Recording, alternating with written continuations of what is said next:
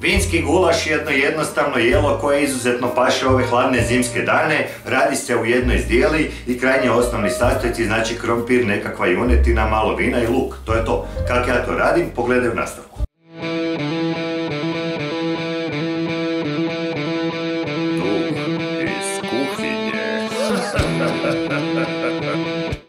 Za jedan ovakav fini gulaš prvo ti treba meso, znači ja ovdje imam 800 grama junećeg buta kojeg ću sad fino isjeckat na kockice.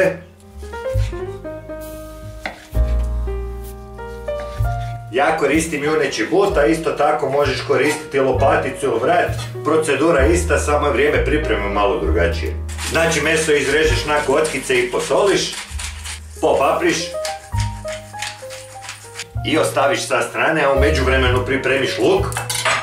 Na ovu količinu mesa ja ću staviti otprilike pola kilograma luka i ne možeš pogrešiti s tim, to je ono što ovom jelu kasnije daje gustoću. Čak ako staviš omjer 1 naprema 1, nije puno, vjeruj mi.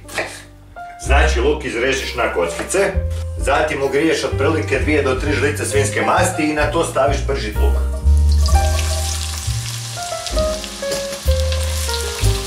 Luk dobro posoliš, i na nekakvoj umjerenoj vatri lagano prodinstaš otprilike 5 minuta, tako da se on fino lijepo zastakli, pusti ovu vodu, ali paziš da ti ne zagori jer onda to daje loš okus ovom jelu i to nije dobro.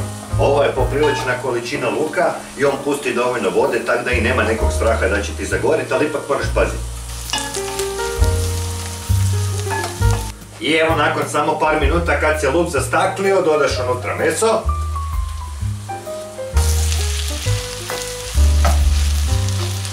I uz povremeno miješanje ga znači prepržiš ovako par minuta, u međuvremenu staviš grijati otprilike litru vode, jer normalno nije dobro podlijevat s hladnom vodom i onda ovo kuhanje puno dulje traje.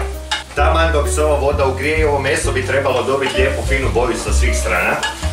I kako bi to bilo malo ukusnije, u toj vodi rastopiš jednu goveđu kocku. I evo nakon svega 5-6 minuta meso je pustilo dovoljno vode i poprimilo boju sa svih strana.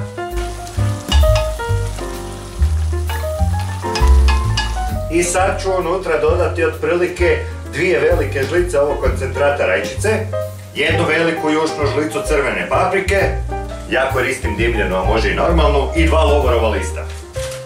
Još ću malo to sve popaprit, posolit, promiješat.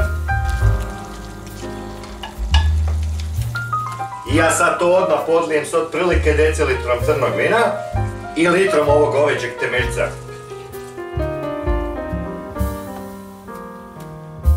Poklopiš, smanjiš vatru i tako kuhaš narednih 45 minuta. Poklopat ću samo malo ovako tvori da to lagano isparava van, ali ne previše. Ajže, također možeš koristiti bijelo vino, ali osim okusa to ti daje i boju, pa ja više volim koristiti ovo crno. I evo nakon otprilike 45 do 50 minuta dinstanja, ne mora žoriti, znači ovo junetini ukupno treba minimalno sat i pol. Vrijeme je za sljedeći korak. Sad unutra doliješ još decilitar crnog vina. Otprilike pola žličice kima, malo čilija u prahu, protisneš unutra 2-3 češnja češnjaka i ostalo ti još samo pripremiti krompir, ubaciti unutra i to je to. 5-6 krompira i sjećaš na kockice otprilike veličine mesa, kod mene je to otprilike 2 puta 2 cm. I gulaš dinsta ili ti kuha se već skoro sat vremena pa sad možeš ubaciti unutra krompire.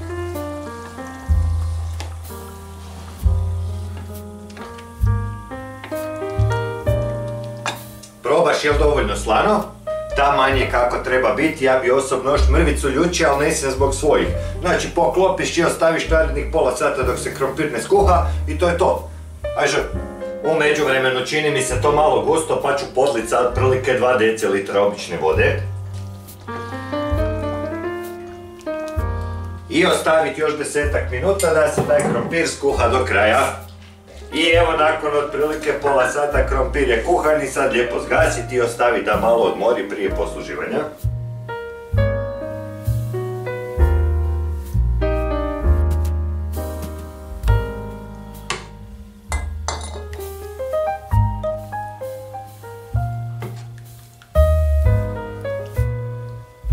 Posuti sa malo svježeg peršina